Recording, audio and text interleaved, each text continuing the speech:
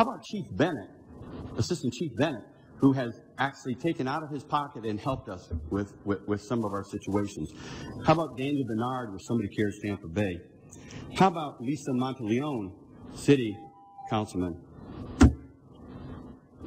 I could really say what we are in three minutes. Do you have any questions? No. Listen to the credible people, please. Listen to the people who have actually been on our property.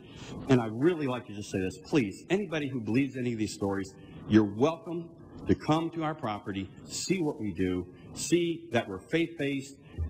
Ask the VA what our percentage is, 92% Thank you. of the homeless that we take in vets are in permanent housing within three months. Nobody has those percentages.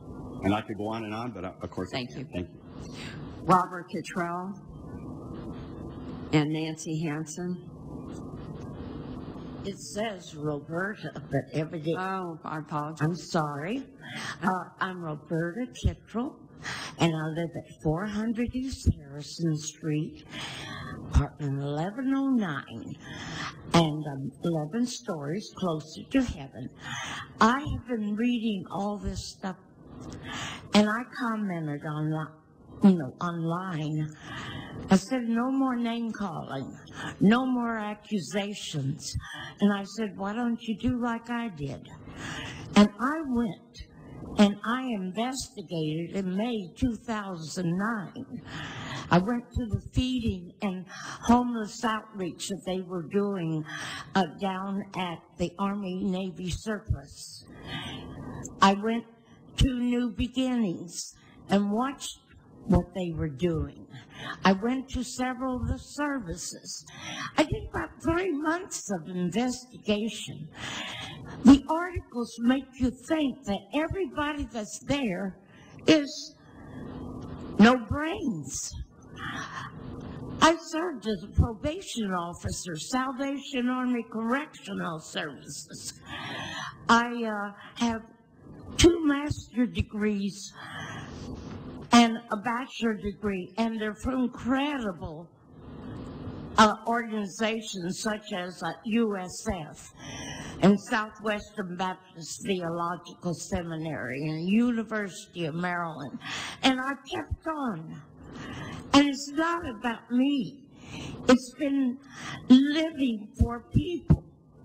You could go to Southern Baptist churches. Yes, I am now a Baptist Costal because after three months of investigation, I knew I had to put my money where my mouth was.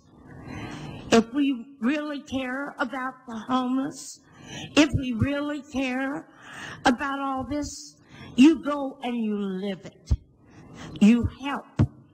And I would never be a part of a tricky thing like that. I served, and I have a, what do you want to call it, a placard from uh, the sheriff's office. I served 14 plus years going into the Hillsborough County jails, and I was on prison fellowship board of directors for aftercare in the Tampa Bay area. I'm saying Everybody quit the name calling. Quit crucifying people blessed, based on uh, what you read in the newspaper. I got a Sigma Delta Chi scholarship way back in the 1970s. That's a national Thank you. journalism society. Thank you for coming. Nancy Hanson, Nanette Ellis, and Sean Dempsey. Nancy Hanson. Oh, welcome. Thank you. My name is Nancy Hanson. I live